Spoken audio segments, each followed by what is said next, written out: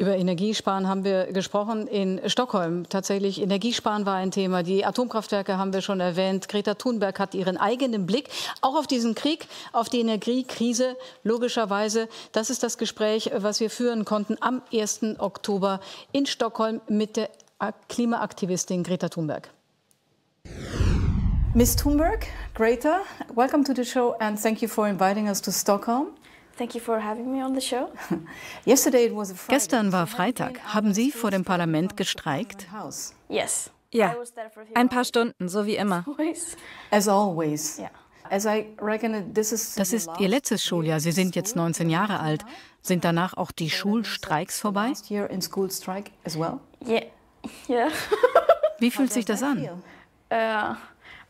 Ich schiebe den Gedanken daran auf, weil ich dann etwas anderes machen muss. Schulstreik für das Klima geht dann nicht mehr. Es fühlt sich komisch an. Es ist nun vier Jahre her, dass Sie eine globale Bewegung gestartet haben. Sie sind zu einer Ikone für Millionen Menschen geworden. Sie haben viele Regierungschefs gesprochen. Wachen Sie manchmal morgens auf und denken, das ist alles nicht real?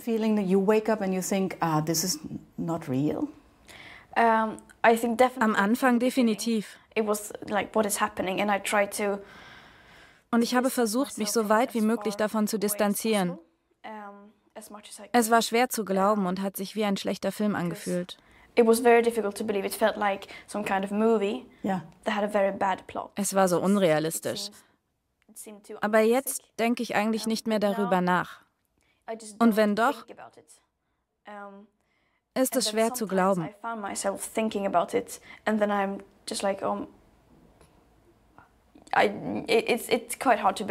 Irgendwie komisch. Warum ein schlechter Film? Sie haben die ganze Welt bewegt. Weil es sich wie ein Klischee anfühlt. Inwiefern? Ein kleines Mädchen löst einen weltweiten Protest aus. Das ist zu einfach. Aber eine gute Geschichte. Ja, aber wenn das ein Film wäre, würde ich mich fragen, hätten die sich nicht was Ausgefalleneres ausdenken können? Aber die Realität ist natürlich eine andere und nicht ganz so einfach, weil wir auch erst am Anfang dieses Kampfes stehen.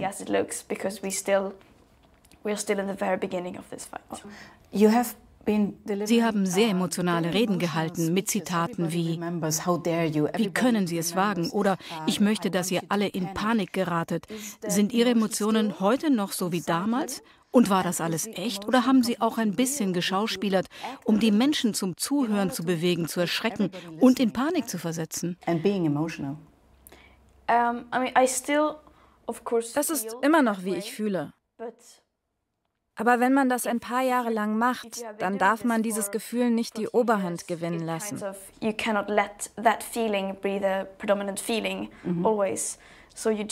Man muss sich klar machen, dass man für eine lange Zeit durchhalten muss.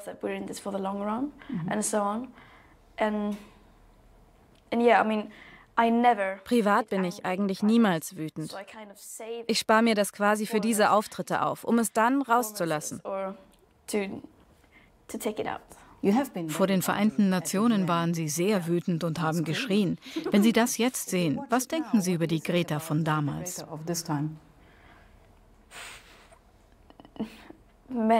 Viele verschiedene Dinge. Es kommt darauf an, wann das war. Aber ich versuche nicht zu hart mit mir zu sein. Ich war ja erst 15 oder 16. Viele Dinge hätte ich anders machen können. Aber was nutzt es, Dinge im Nachhinein zu bereuen? Was hätten Sie gerne anders gemacht? Ich hätte mich viel früher auf die humanitären Aspekte der Krise konzentrieren sollen. Auf Gerechtigkeit und Klimagerechtigkeit. Denn am Anfang war das Narrativ, hört auf die Wissenschaft, wir Kinder werden davon in Zukunft betroffen sein. Dann haben wir aber immer mehr verstanden, dass wir uns auf das Hier und Jetzt konzentrieren müssen. Die Menschen, die die Krise jetzt schon betrifft, sollten Aufmerksamkeit bekommen.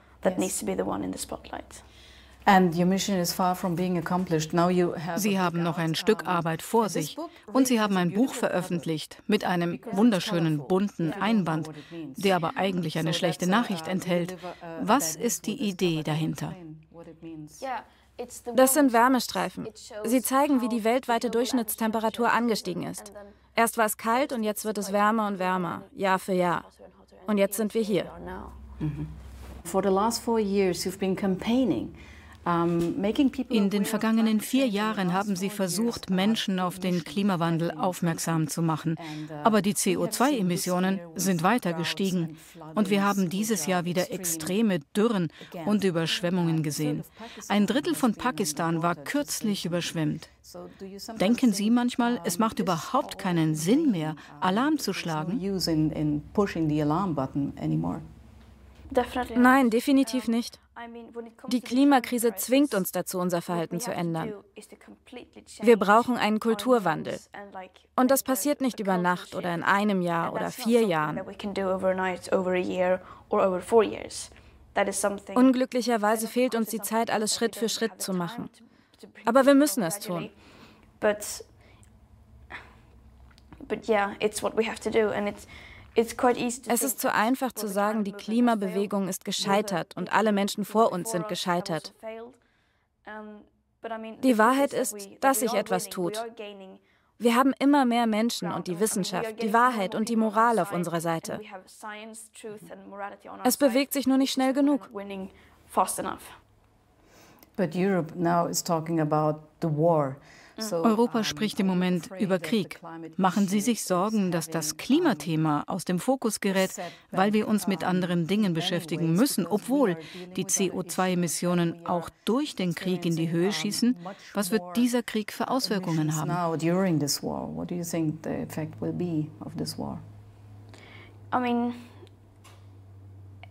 Jeder Krieg ist ein Desaster, auf ganz vielen Ebenen.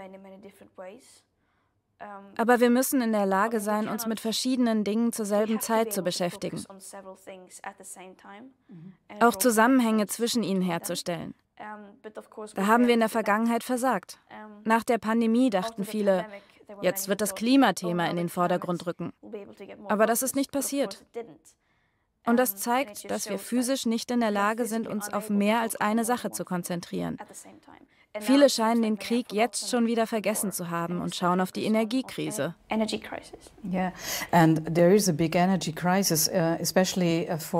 und wir befinden uns in einer Energiekrise, gerade auch Deutschland, weil wir sehr abhängig von russischem Gas und Öl sind. Die Bundesregierung hat jetzt beschlossen, die Kohlekraftwerke weiter laufen zu lassen, um die Energiepreise zu stabilisieren. Was halten Sie davon? I mean, that's das ist zwangsläufig das, was passiert, wenn man von fossilen Energieträgern aus autoritären Regimen abhängig ist. Ich glaube, dass es andere Wege nach vorne gibt. Mit erneuerbaren Energien. Wenn wir weiterhin in fossile Energie investieren, werden es unsere Gesellschaften entweder mit zu hohen Temperaturen zu tun bekommen, an die wir uns nicht anpassen können, oder mit einem Werteverfall von Vermögen in der Zukunft. Aber in diesem Moment schauen die Menschen auf ihre Energierechnungen. Die Regierung versucht, die Bürger zu schützen. Verstehen Sie die Notwendigkeit dieser Maßnahmen? Natürlich, klar. Menschen schauen auf sich selbst und darauf, von Tag zu Tag klarzukommen. Das ist aber nur ein weiteres Symptom dieser Krise. Wir haben uns selbst abhängig gemacht und eine Gesellschaft geschaffen, in der wir nicht in der Lage sind, mehr als ein Jahr in die Zukunft zu schauen.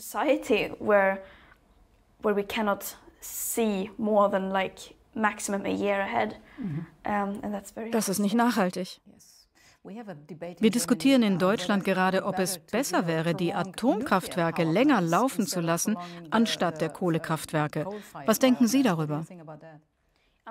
Ich persönlich denke, dass es eine schlechte Idee ist, auf Kohle zu setzen, solange die AKWs noch laufen. Aber das ist natürlich eine sehr aufgeheizte Debatte. But, but of course it's, uh, yeah, it's a very infected debate. Um, aber für das Klima wären die Atomkraftwerke die bessere Wahl, zumindest für diesen Moment? Es kommt darauf an. Wenn sie schon laufen, glaube ich, dass es ein Fehler wäre, sie abzuschalten und sich der Kohle zuzuwenden. Und danach abschalten? Kommt darauf an, was passiert. Also Wenn dieser Krieg einmal zu Ende ist, könnte das auch eine Chance sein, dass Menschen bewusst wird, dass Energiesparen sehr wichtig ist und dass Investitionen in erneuerbare Energien mehr sind als nur eine Klimafrage?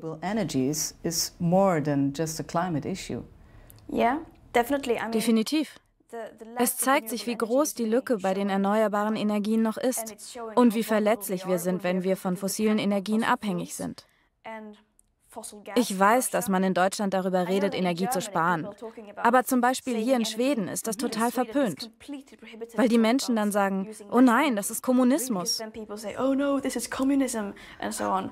Das ist wirklich verrückt. Das sagen manche auch in Deutschland. Das stimmt, aber in Schweden sagt nicht ein einziger Politiker, dass wir weniger Energie verbrauchen sollten. Auch wenn Studien zeigen, dass der Preis mit dem Verbrauch sinken würde. Okay. Uh, Sie haben Deutschland beschuldigt, einer der größten Klimasünder zu sein. Bei uns regieren jetzt die Grünen mit. Hatten Sie die Hoffnung, dass sich dadurch etwas verändert? Nicht wirklich. Warum? Bei uns in Schweden war über einen langen Zeitraum eine grüne Partei Teil der Regierung. Und wir sind immer noch einer der Weltmeister im Greenwashing. Natürlich sind einige Parteien weniger schlimm als andere. Und natürlich ist es gut, wenn viele Leute diese Parteien unterstützen. Aber je länger wir uns vormachen, dass wir die Klimanotlage innerhalb des bestehenden Systems lösen können, ohne sie wie eine wirkliche Krise zu behandeln, desto mehr Zeit werden wir verlieren. Ohne Druck von außen wird es nicht zu maßgeblichen Veränderungen kommen. Sie haben überall auf der Welt mit Spitzenpolitikern gesprochen. Haben Sie eine oder einen getroffen, bei dem Sie das Gefühl hatten, da ist jemand, der versteht, wovon ich rede und ist bereit, entsprechend zu handeln? Das sind zwei sehr unterschiedliche Dinge. Politiker sagen zwar, dass sie das Problem verstehen. Und manchmal mag das auch so sein. Aber ich habe bis jetzt noch keinen getroffen, der wirklich einer Notlage entsprechend redet und handelt. Ich verstehe, dass es als Individuum sehr schwer ist, die Dinge von innen heraus zu verändern. And that is exactly why it, it might be more powerful to Vielleicht ist es deswegen auch machtvoller, von außen aufzustehen und zu sagen, das funktioniert so nicht, ich will hier nicht mitmachen. Das schafft mehr Aufmerksamkeit, als zu versuchen, die Dinge alleine von innen heraus zu verändern, wenn alle davor damit gescheitert sind.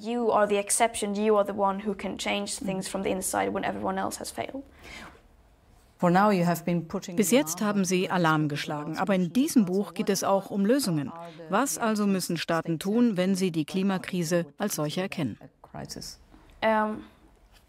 Viele Dinge. Natürlich gibt es kein Allheilmittel, das alles auf einmal löst.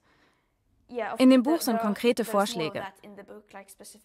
Aber das Erste, was wir machen müssen, wir müssen zur Kenntnis nehmen, dass wir uns in einer Notlage befinden. Denn das ist die Voraussetzung dafür, die Situation richtig zu analysieren oder eine Lösung zu finden. Wir müssen uns bewusst machen, dass wir uns in einer Notlage befinden. Sonst bringt alles andere auch nichts. Und da sind wir noch nicht. Aber das wäre der allererste Schritt.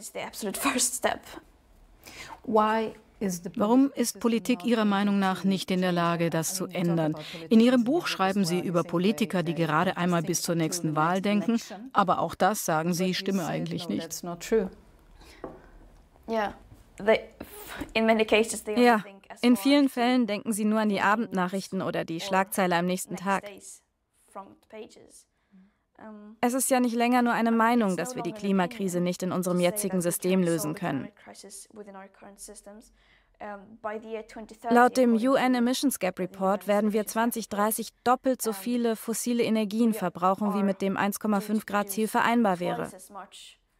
Das bedeutet, wenn wir darunter bleiben wollen, und wir sind jetzt schon bei 1,2 Grad und Menschen sterben, müssen wir wirtschaftliche Vorhaben auf Eis legen und bestehende Verträge kündigen.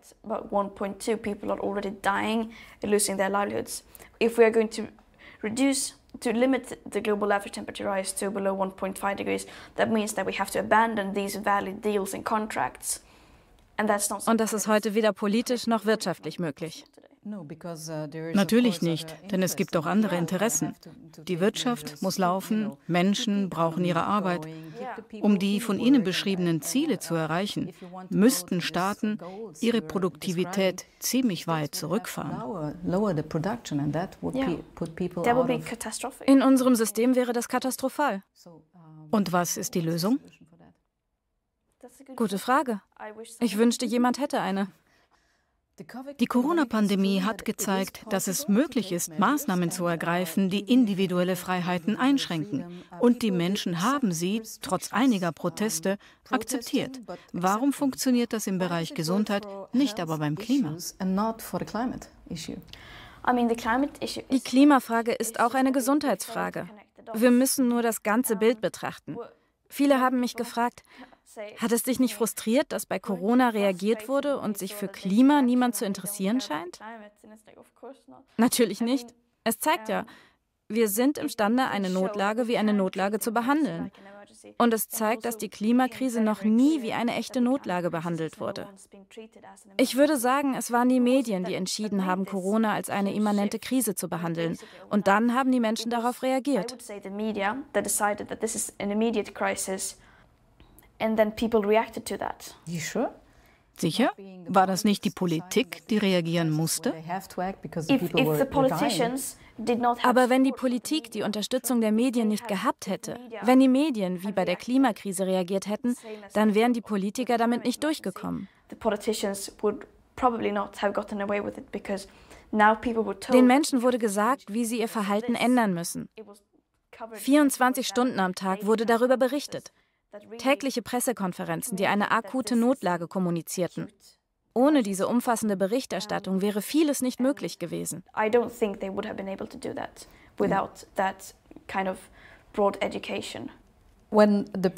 Als der Höhepunkt der Pandemie vorbei war, sind viele sofort wieder ins Flugzeug gesprungen. Verzweifeln sie manchmal an uns Menschen.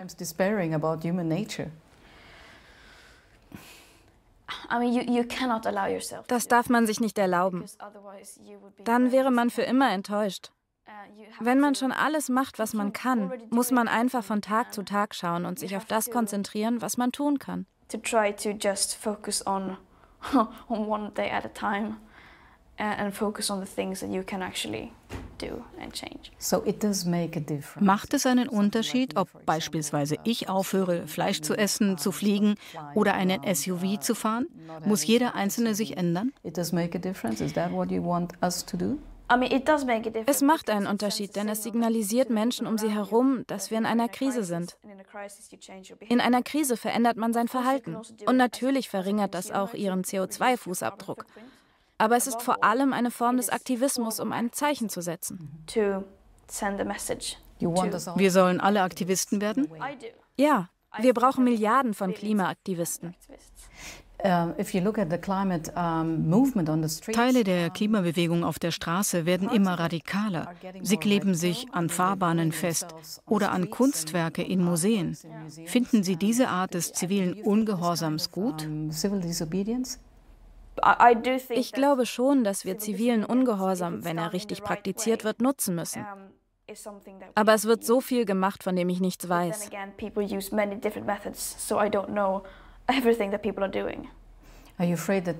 Haben Sie Sorge, dass die Bewegung zum Teil gewalttätig werden könnte, aus Frustration, weil es nicht schnell genug geht? Vielleicht. Und das ist einer der Millionen Gründe, warum wir jetzt handeln und die Dinge nicht weiter aufschieben sollten. Denn wenn wir das tun, frustriert das Menschen immer mehr und sie bekommen Angst.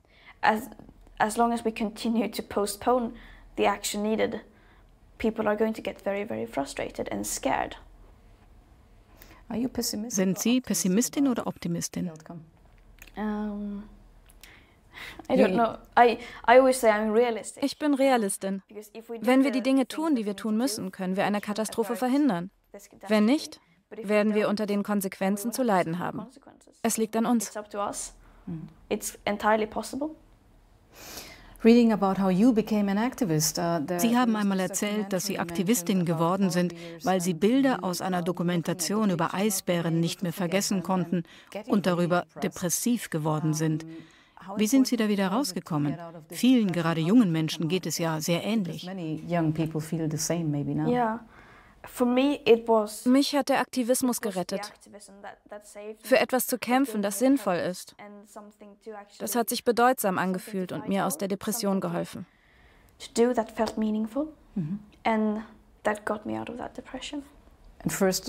Als erstes haben Sie Ihre Eltern erzogen. How dare you, Greta? I mean, really.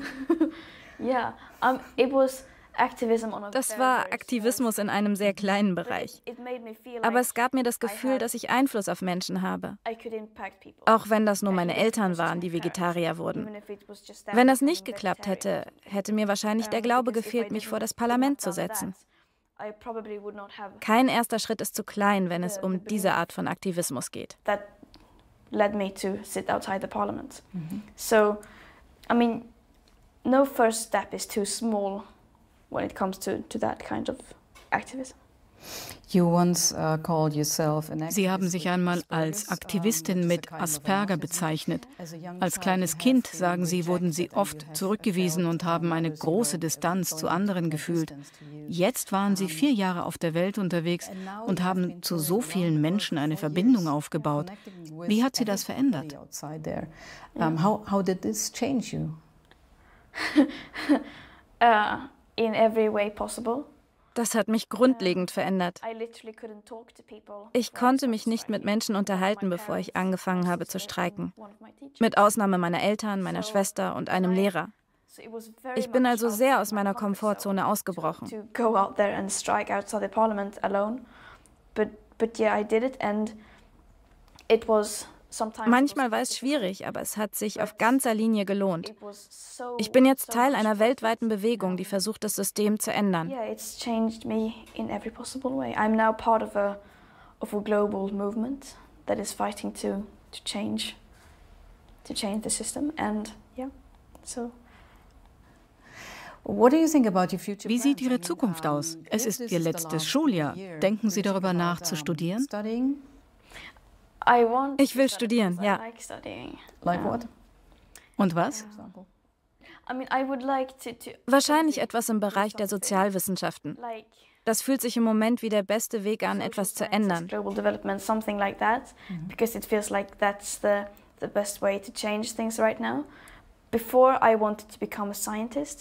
Davor wollte ich Wissenschaftlerin werden.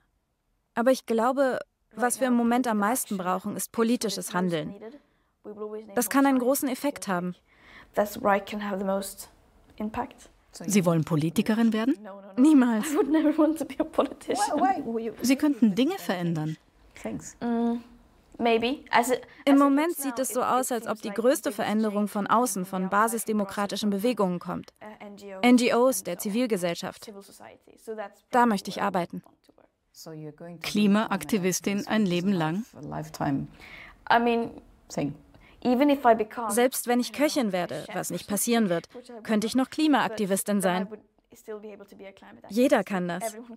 Also ja, ich werde für den Rest meines Lebens Klimaaktivistin sein. Das bleibt wichtig. Well, um, well, thank you for having us. Thank, thank you. you for the interview, Greta. Thank you too.